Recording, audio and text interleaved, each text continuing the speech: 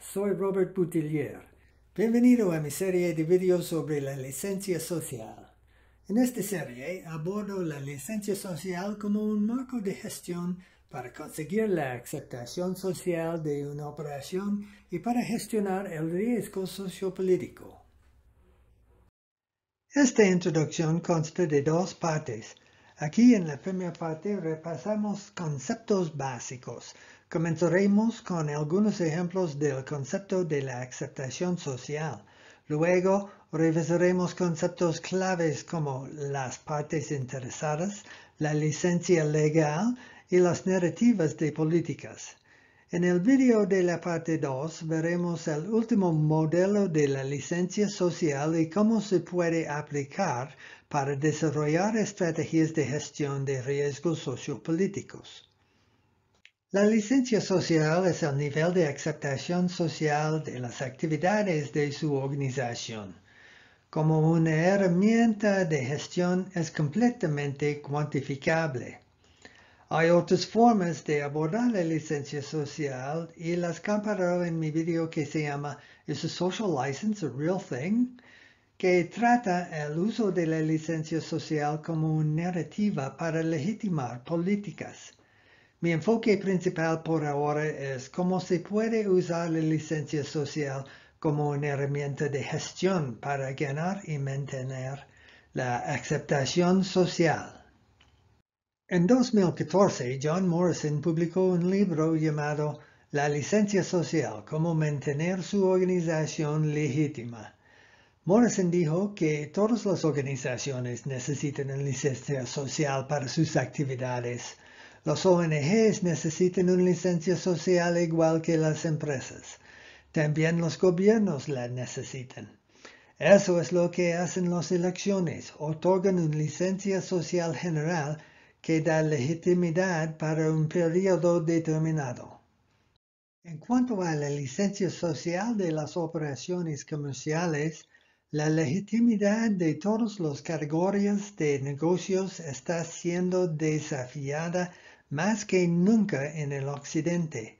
De hecho, las encuestas mundiales muestran que la confianza en todo tipo de instituciones ha disminuido drásticamente en las últimas dos décadas.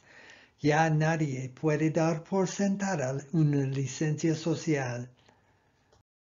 La mayoría de los ejemplos que utilizó para la licencia social provienen de las industrias en las que más he trabajado, minería, energía, infraestructura y finanzas. La frase licencia social para operar se originó en la minería y ha habido muchos proyectos mineros detenidos por protestas comunitarias.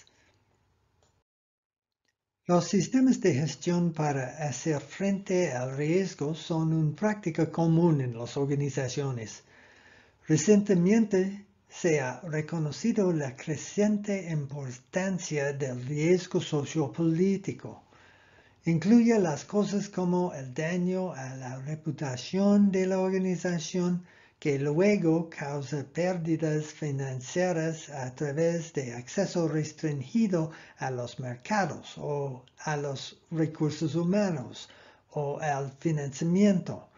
También puede ser más directo, como cuando hay boicots, huelgas o bloqueos, regulaciones más restrictivas, o prohibiciones absolutas de actividades.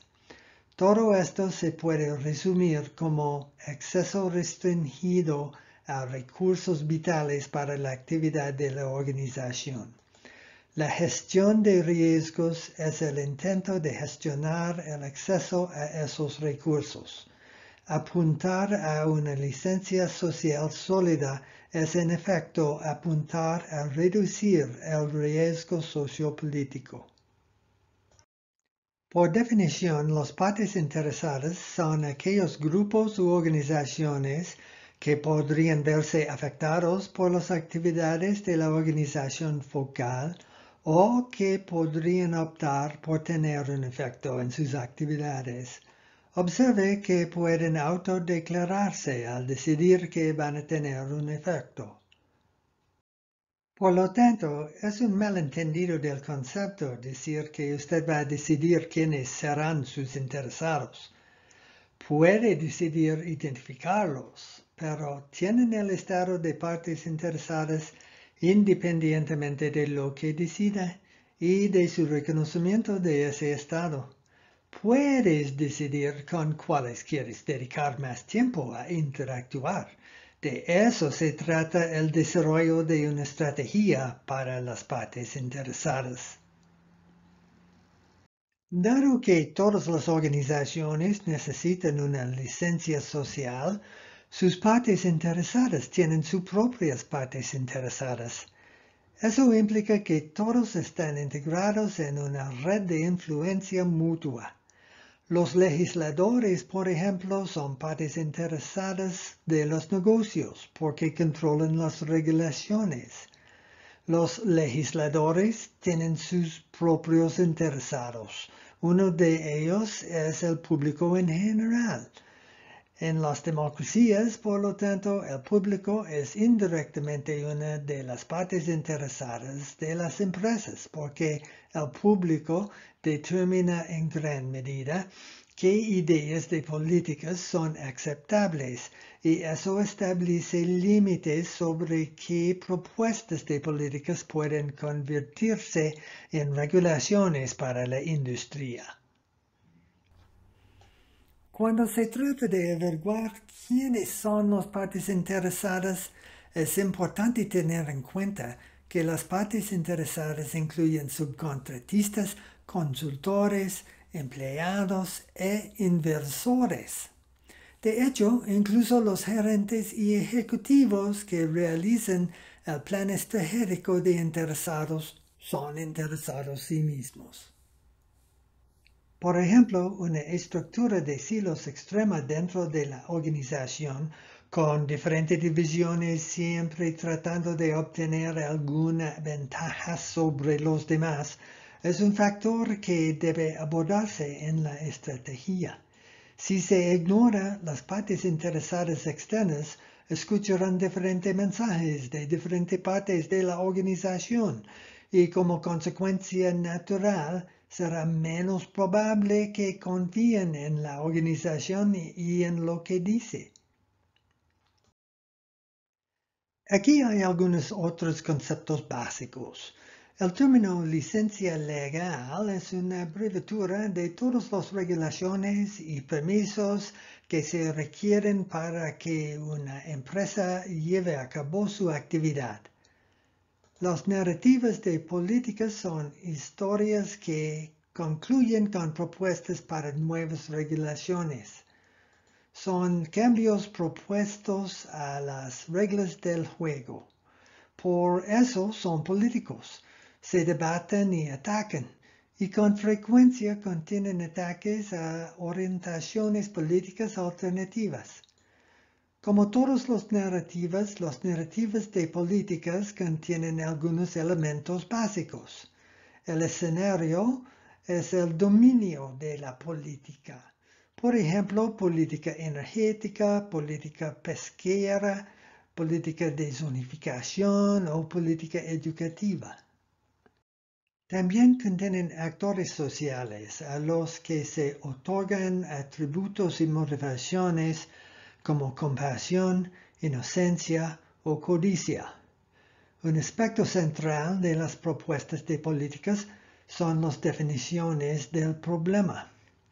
Estos pueden cambiarse para atraer a más miembros a la coalición de promoción de políticas. Por ejemplo, Salven a las ballenas se fusionó con otros movimientos sobre especies en peligro de extinción para convertirse en la narrativa de la biodiversidad, que se convirtió en protección del hábitat global, que se fusionó con las narrativas de contaminación atmosférica para convertirse en calentamiento global, que se convirtió en cambio climático. Con cada cambio se amplió la posibilidad de construir una coalición más amplia. Cada narrativa política también tiene al menos una solución propuesta. Estos pueden variar en especificidad desde, por un lado, algo listo para convertirse en ley, hasta por otro lado, una recomendación para prestar más atención y recursos a un determinado problema o sector. También en el componente de solución hay una llamada a la acción, a veces dirigida a las empresas, a veces a los gobiernos y a veces a los miembros individuales del público. Ahora quiero explorar un poco acerca de cómo se pueden considerar que las narrativas compiten entre sí por más seguidores. Se trata realmente de que las coaliciones de políticas cambien sus narrativas para expandir su coalición. La gestión de recursos es siempre un tema político y por lo tanto los proyectos de las industrias extractivas a menudo se mencionan en las narrativas políticas. Comencemos con algunas ideas básicas sobre cómo cambian las narrativas. La licencia social se puede ganar o perder según la narrativa que llegue a dominar el dominio de las políticas. Las narrativas a favor y en contra a menudo compiten entre sí y evolucionan conjuntamente en la lucha por obtener una aceptación superior. Además, es importante recordar que diferentes medios controlan la narrativa en diferentes subculturas. La subcultura de Instagram no es la misma que la subcultura de LinkedIn. La audiencia que asiste al teatro en vivo no es la misma audiencia que escucha la radio diurna.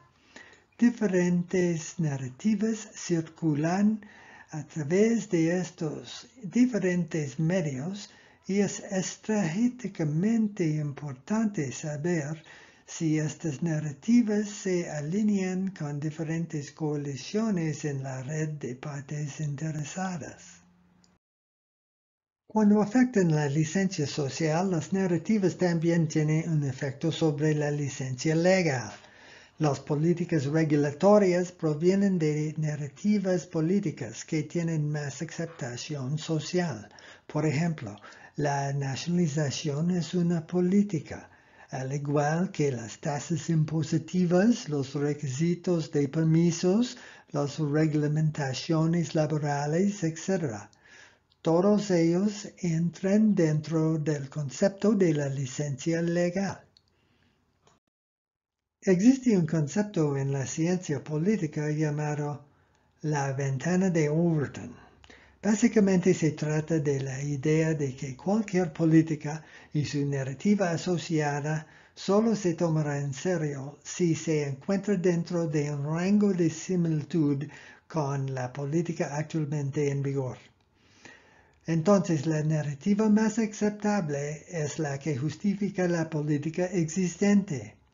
Casi tan aceptables son las políticas que son populares.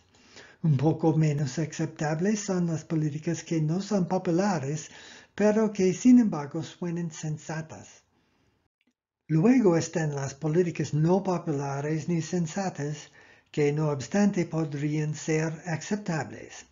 Más allá de eso, la aceptabilidad disminuye a medida que avanza hacia políticas radicales e impensables. El punto es que la política se trata de arrastrar esa ventana de aceptabilidad en una dirección u otra.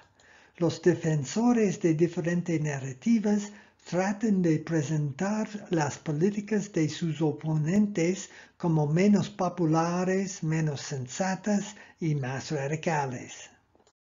Esta competencia por la aceptabilidad a veces puede volverse tan intensa que la ventana se divide en dos ventanas. Las ventanas corresponden a dos grupos diferentes en la red de partes interesadas. Bajo una polarización extrema, Una narrativa que parece popular y sensato para un grupo parece radical e impensable para el otro. Bueno, esa es la parte 1 de su introducción básica a la licencia social. La parte 2 presenta el más reciente modelo de la licencia social y tiene un ejemplo de cómo se puede utilizar para gestionar el riesgo sociopolítico. Y si desea más información sobre cómo desarrollar una estrategia de licencia social, Puede visitar mi sitio de web o leer uno de mis libros sobre el enfoque completo. Gracias por ver.